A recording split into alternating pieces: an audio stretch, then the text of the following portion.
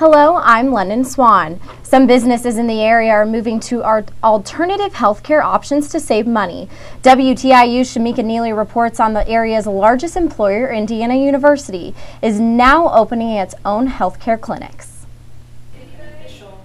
Companies are trying to find ways to manage healthcare costs and still provide benefits for employees. Indiana University Benefits Committee co-chair Mary Gray says in Bloomington there have been struggles to make basic healthcare facilities available to more people.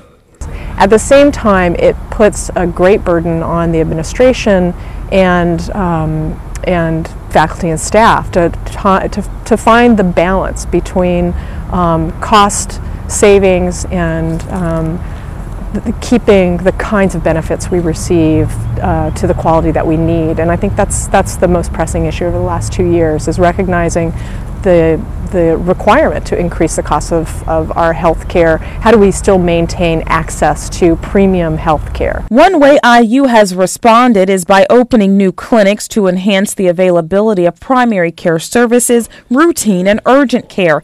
Richard Sutton is a benefits consultant with the Monroe County School Corporation. The district opened its own clinic three years ago, and Sutton says the district is seeing the benefits when MCCSC employees and family members use the clinic for a primary office visit, there is no claim that is filed with the insurance company. Sutton says all costs are absorbed through the clinic, which costs just more than $30,000 each month. That's much less than if the claim were to go through insurance. For WTIU News, I'm Shameka Neely. Information regarding missing IU student Lauren Spierer is no longer on IU's homepage. IU spokesperson Mark Land said the university has been in contact with Spierer's parents about the presence of the content of the website and it was time to make changes. The information will now be displayed the first week of every month.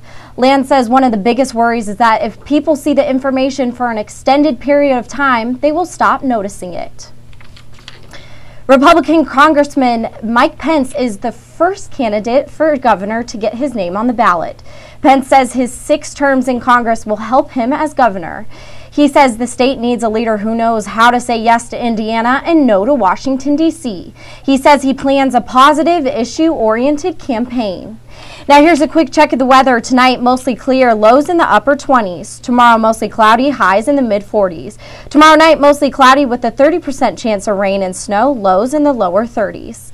For WTIU, I'm London Swan.